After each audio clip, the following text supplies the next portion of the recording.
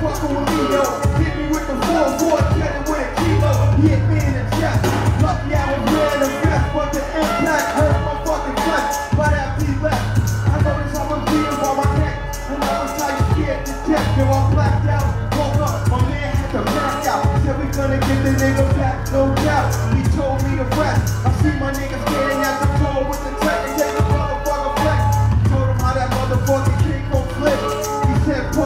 some payback, some bitch. Yo, shit is real, I feel better. Word on the street, and that'll 4-4. Nigga